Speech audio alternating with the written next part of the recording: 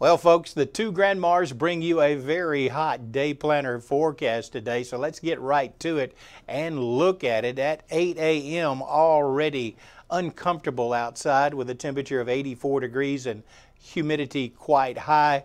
93 at 11 a.m., 96 at 2 p.m. this afternoon with a 20% chance of a thunder shower in the area. Winds today from the southwest at 5 miles an hour.